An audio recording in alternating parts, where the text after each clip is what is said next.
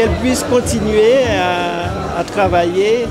Il y a un projet qui tient beaucoup à cœur Madame Schwarzbach, c'est la réhabilitation de la souvenance. Et je l'ai annoncé que dès demain, les travaux vont commencer.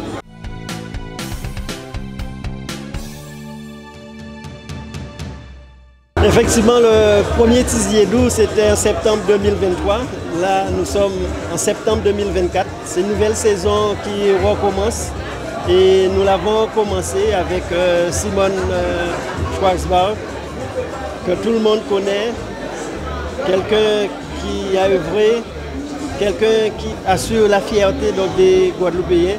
Et ce que j'ai eu l'occasion de dire, qu'un Tizier doux, ce n'est pas simplement célébrer une mémoire vivante, c'est aussi montrer toute notre affection, toute notre reconnaissance pour celles et ceux qui, de par leur création, leur art, leur travail, permettent à la Guadeloupe de rayonner, fortifie l'identité guadeloupéenne et renchérit notre âme de l'archipel. Et c'est en ce sens que, à travers ses œuvres, elle a su mettre en avant euh, les conditions, les conditions, toute notre histoire. Yeux doux, c'est ce que de mon temps, les prétendants faisaient aux jeunes filles, un petit yeux doux en passant, et les parents surveillaient pour voir euh, ce qui se passait.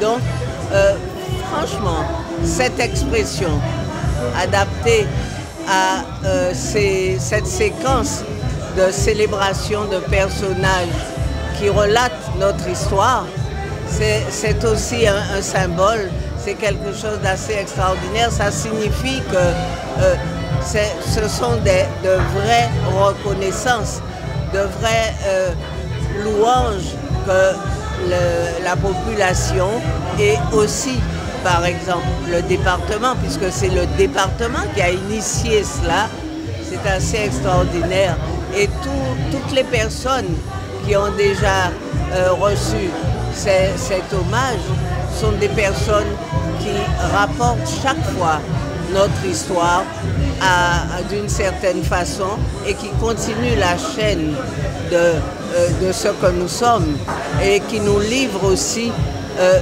l'autre côté, l'autre face de, de, de ce que nous sommes. Donc, petits yeux doux, c'est vraiment euh, une très belle expression et elle est bien adaptée. Vous avez vu le petit yeux doux, vous avez vu quelle vibration il y avait dans la salle. C'est quelque chose d'extraordinaire. C'était seulement amour, amitié, partage et ma foi, noblesse aussi.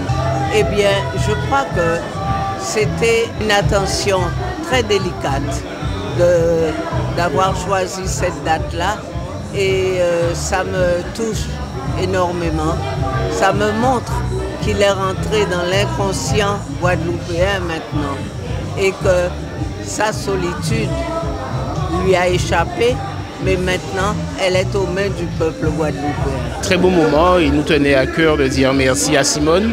Et euh, dans la lignée des autres Tiziédou, euh, il y a des acteurs, il y a ces militants dans l'ombre, il y a ces forces discrètes qui tous les jours œuvrent pour une certaine identité de la Guadeloupe.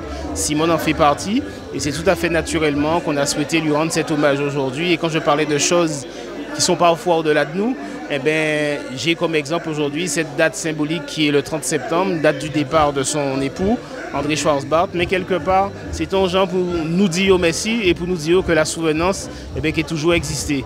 Et euh, là maintenant, dès demain, les travaux vont commencer ici, mais au-delà de ça, il y a un vrai travail, un vrai partenariat qui va être fait avec Simone. Comme je lui disais, Antisiedou, c'est un terminal, c'est pas un terminus. C'est-à-dire que là, on va partir vers de nouvelles aventures et euh, elle a tout notre soutien et euh, on va nourrir quelque chose de beau, toujours pour valoriser les arts, la culture et cette identité guadeloupéenne.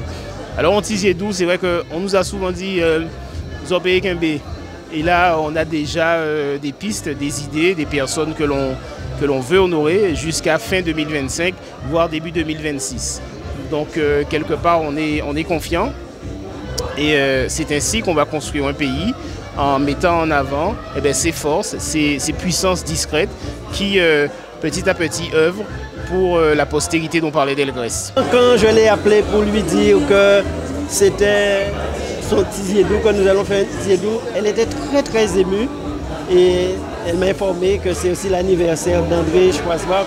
Et vous comprenez euh, quelle émotion cela peut susciter chez elle.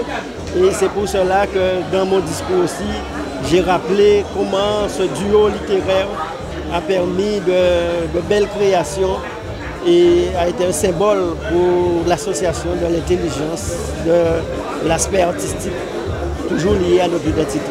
Mais qu'elle puisse continuer à, travailler. Il y a un projet qui tient beaucoup à cœur Madame Schwarzbach, c'est la réhabilitation de la souvenance. Et je l'ai annoncé que dès demain, les travaux vont commencer pour euh, la réhabilitation. Donc euh, je pense que cela ne peut créer qu'une très grande joie chez elle. Et ce lieu mythique sera encore un bon support pour d'autres créations artistiques. Ce soir, ce n'était qu'un exemple, qu'un premier pas vers beaucoup d'autres pas pour la défense et la promotion de la culture en Guadeloupe.